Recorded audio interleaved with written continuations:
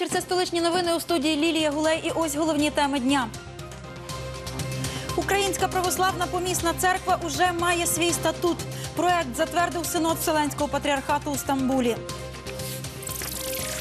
Росія заблокувала прохід усіх суден у порти на Азов. А в СБУ оприлюднили докази повітряної атаки на захоплені українські кораблі.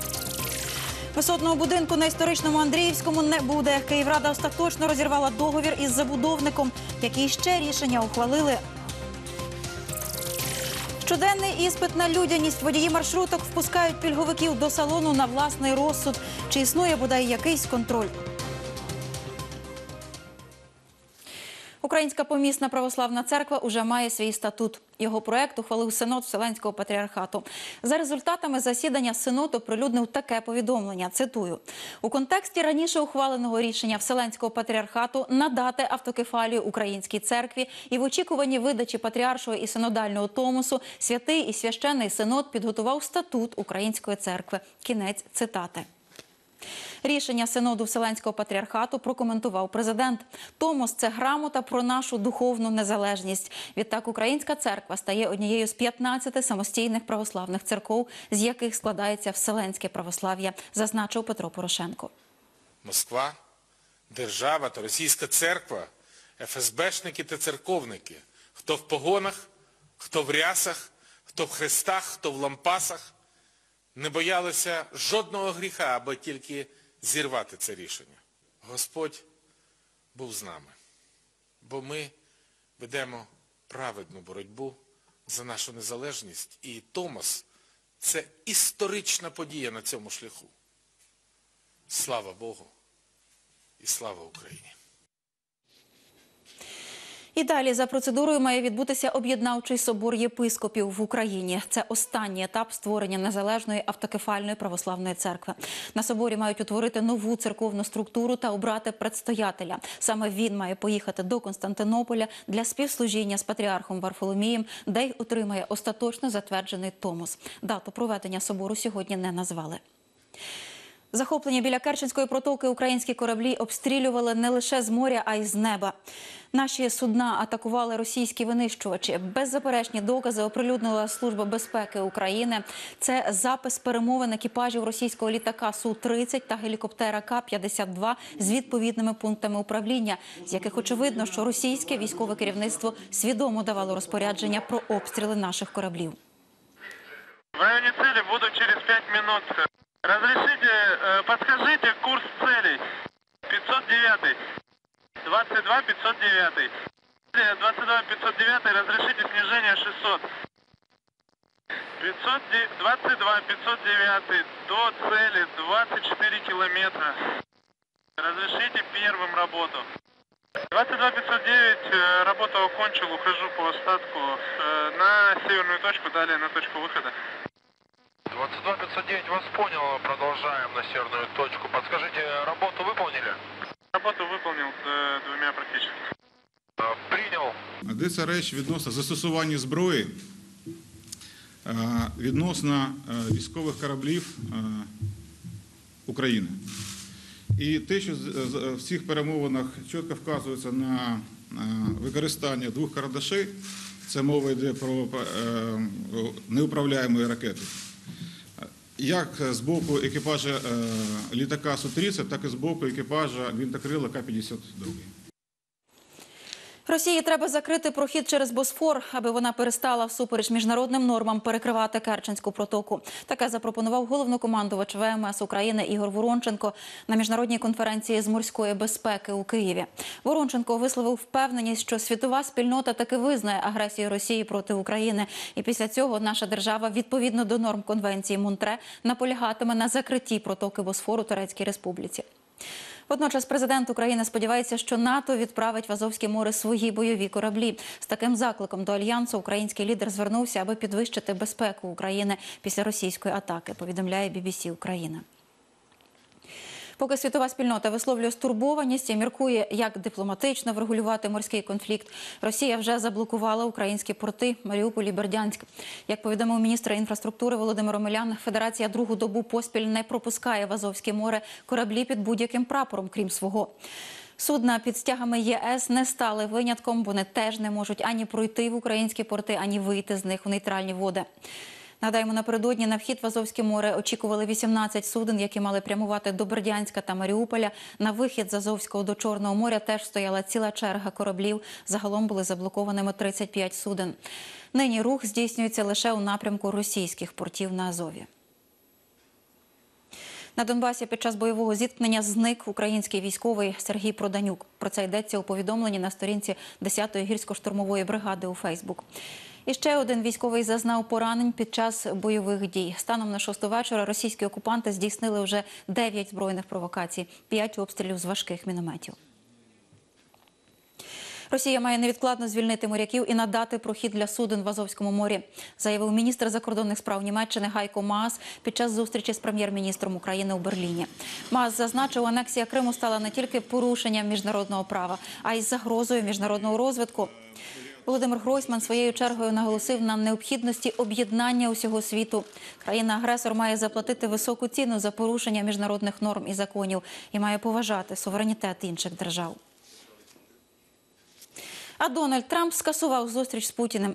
Президент США відмовився зустрічатися з президентом Росії через захоплення українських моряків в Азовському морі. Про це Трамп написав у Твіттер. Дослівно так, виходячи з того, що кораблі та матроси не були повернуті в Україну з Росії, я вирішив, що всім зацікавленим сторонам буде краще скасувати заплановану раніше зустріч з президентом Путіним. Кінець цитати.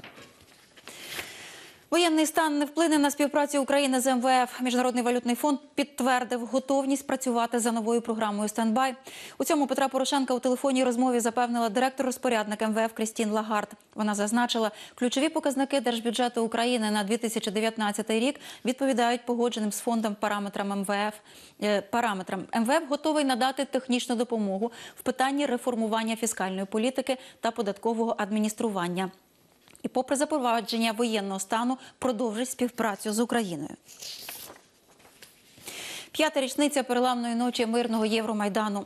У 2013-му, у ніч з 29 на 30 листопада, пролилася перша кров студентів, котрі вийшли мирно відстоювати свою позицію, прагнення об'єднати Україну з Європою.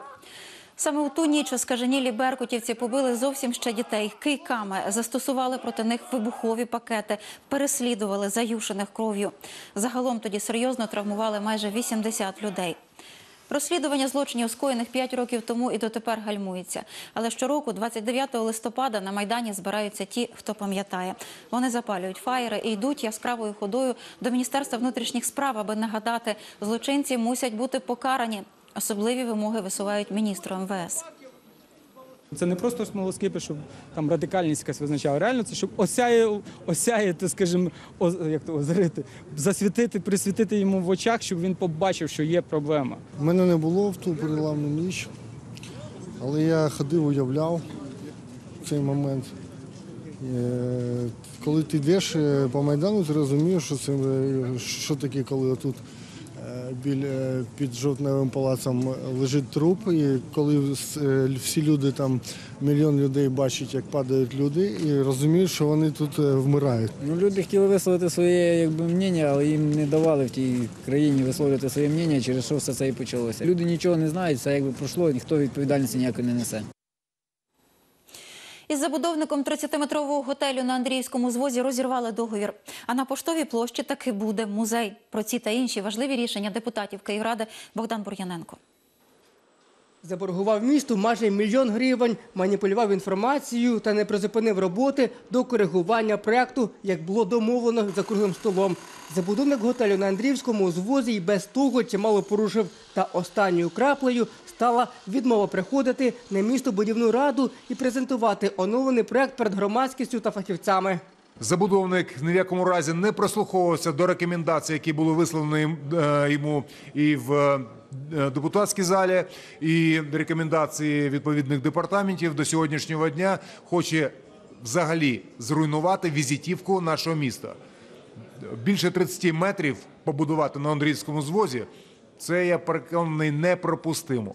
Ще одне питання подолу вирішили на сесії. На поштовій площі буде музей. Депутати ухвалили рішення, згідно з яким угоди з забудовником або припиняються, або змінюються на умовах вигідних місту. Усі виявлені артефакти, заявляють депутати, будуть збережені. Тепер компанія має коригувати проект і обов'язково додати до нього приміщення музею. Інвестор мав змінити проект будівництва для того, щоб не перекривати плитою е, місце розкопок, а е, знайти інше технічне рішення, яке дасть можливість археологам працювати там постійно. Рішення, яке було прийнято сьогодні, воно так само зобов'язує інвестора це зробити. У разі, якщо він не буде виконувати цю позицію, Київська міська влада має право ініціювати розірвання договору оренди.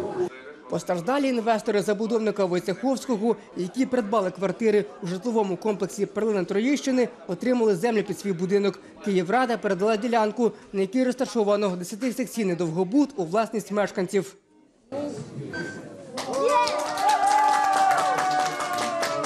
Без цього рішення ми не могли заключити договор з ДТЕК, з водоканалом, ну, з усіма мережами, які необхідні для життя нормального. Цей проект нам дав можливість, ми надіємося, що дав можливість е, узаконити, е, пройти містобудівні умови. Понад 130 нових парковок планують облаштувати у столиці наступного року. Згідно з рішенням Київради, з'явиться у місті понад 9 тисяч машиномісць. На в'їздах до Києва створять сім перехоплюючих стоянок, а евакуйовані автівки розміщуватимуть ще на чотирьох нових штрафмайданчиках. На сесії депутати перейменували вулицю Тверську у Печерському і Голосівському районах на Єжи Гедройця. Богдан Бриненко, Олександр Степанов, телеканал Київ. Розклад експреса до аеропорту Бориспіль вивісили на залізничному вокзалі Києва. Старт запланований на завтра. Перший потяг вирушатиме з київського вокзалу в 00 годин 8 хвилин, а останній о 22.52. З аеропорту Бориспіль перший потяг поїде в 00 годин 48 хвилин, а останній о 23.47. Вночі інтервал між потягами становитиме одну годину, а в години пік від 25 до 55 хвилин. Загалом поїздка до аеропорту займатиме близько 40 хвилин. Не більше двох пільговиків у салоні або іспит на людяність. Водії маршруток так не хочуть перевозити пасажирів пільгової категорії, що часто вдаються до обману, запевняючи, що місця вже зайняті. А ще буває ображають соціально незахищених, навіть виводячи силоміці з салону. Чи є бодай якийсь контроль за перевезенням пільговиків у маршрутках, з'ясовувала Софія Сидорчак. Усім знайома конфліктна ситуація між водіями маршруток і пільговиками, коли перші не пускають до салону других без плати за проїзд. Власники посвідчень щодня вислуховують різне. Вони не розрішають йому сидіти. А чому? Ні, вони кажуть, у нас вже є такі. І все. Навіть коли це неправда, у деяких людей їхня пільга вже асоціюється з приниженням. Удостоверение участника показала За руку выгнал, у меня есть. Молодой человек вышел с автобуса, с, с маршрутки, с 16, э, ну, 13 К. Говорит, «Э, женщина, садитесь, я за вас заплачу. Я говорю, я не сяду. Однак особливо стійкі посилаються на витяг з постанови, що є в кожній маршрутці, де вказано, що пільговик має право на безкоштовний проїзд. Але заповнювати такими пасажирами бусики повністю водії не можуть. Для пільговиків – громадський комунальний транспорт. Я вже полчаса ждав тролейбуса. Я в этой маршрутке не захожу. Але не всіма вулицями міста курсують тролейбуси, автобуси та трамваї. І люди вимушені користуватися маршрутними таксі. Навіть у комунального «Київпастрансу» вони є. І там пільговикам теж нелегко скористатися правом на безоплатний проїзд. Есть такие случаи, но э, жизнь есть жизнь, и если э, частники маршрутчик купили себе э, за, будем говорить, за свои деньги, и даже Киев-Постранс купил за свои деньги эту маршрутку, то она должна, конечно, быть прибыльная. А за нее на сегодняшний день э, дотации и э, оплату за льготников э, не оплачивают. Складність в тому, що неможливо встановити, скільки пільговиків перевезли за день. Тобто фактично маршрутники роблять це за власні гроші. І кожен приймає рішення на свій розсуд. Скільки сідає, скільки бере? Берете всіх? Є 24 категорії, які, а якщо УБД, так вони в нас 10 чоловік заходить, нам все одно. Ми всіх веземо безплатно. Це все за наш счет. У столиці кошти за проїзд пільговиків відшкодовують лише комунальним підприємствам. Це робить КМДА. За 10 місяців 2018 року Київпастрансу сплатили понад 400 мільйонів гривень. Там кількість пільговиків можуть порахувати за певною формулою. Заходите в подвижной состав, считаете, сколько у вас пассажиров. Выводится процент, и потом мы просчитываем, сколько пассажиров у нас за месяц проехало э, платных. А платных мы учитываем, у нас каждый плат- платный пассажир учитывается, потому что выдается талончик, проездной билет, сколько мы денег получили. Через деньги мы их высчитываем. И потом умножается на этот процент, коэффициент умножается, и выводится, сколько льготников мы перевезли. У 2019-му робити це буде простіше через електронний квиток. Тож приватні перевізники, встановивши у себе в маршрутці валідатори або інші пристрої фіксації пасажирів, зможуть також отримувати компенсацію від міста за безкоштовне перевезення пільговиків.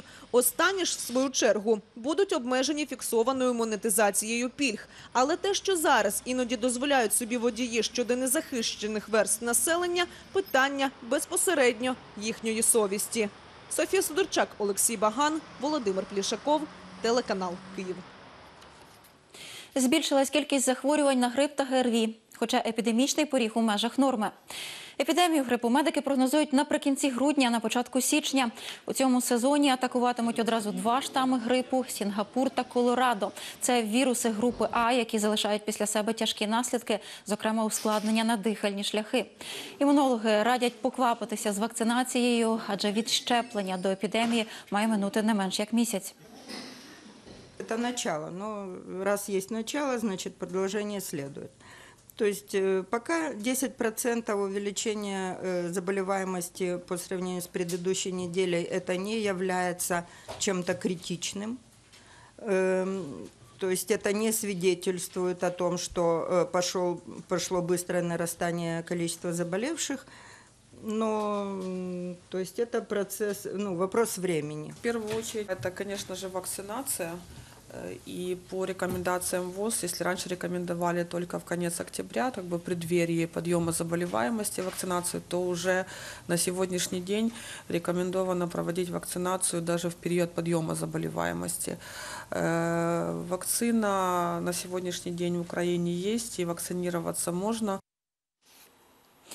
Продовження культової стрічки Червоний вже близько. У пантеоні сучасного українського кіно екранізація одноіменного історичного роману Андрія Кокотюхи в короткий термін зайняла особливе і почесне місце. Тож після минулорічного успіху продюсери кінострічки вирішили зупинятися не варто. І ось він сіквел, остаточна назва Червоний без лінії фронту. З презентації буктрейлеру, переповнений враженнями, повернувся Арман Лазарян. Не за горами довгоочікуване продовження фільму Червоний за мотивами одноіменної книги Андрія Кокотюги, яка ще до успішної екранізації набула в Україні культового статусу.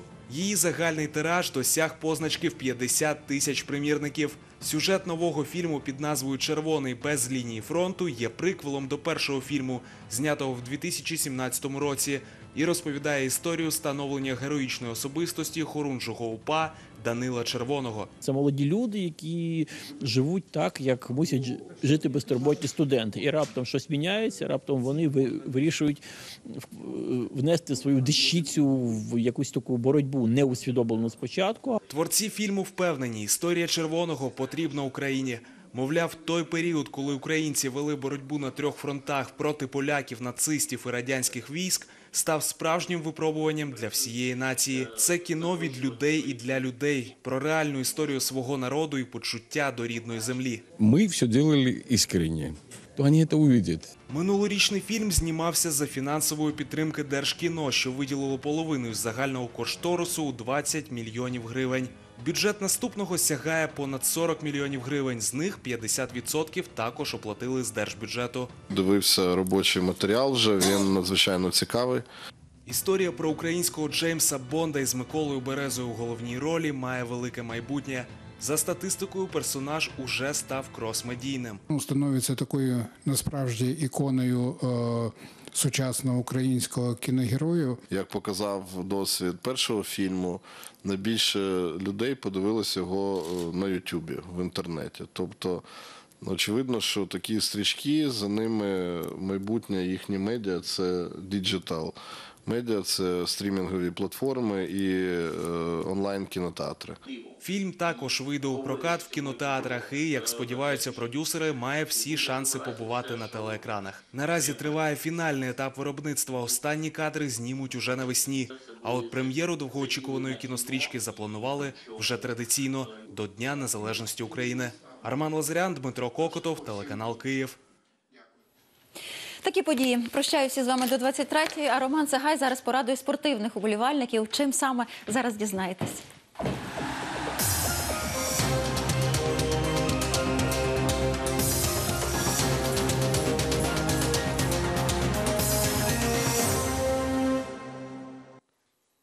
Моє вітання настав час для найцікавіших новин зі світу спорту. Київське Динамо за три тисячі кілометрів від рідного міста зіграло у п'ятому турі Ліги Європи УЄФА. Суперником киян був казахстанський клуб Астана.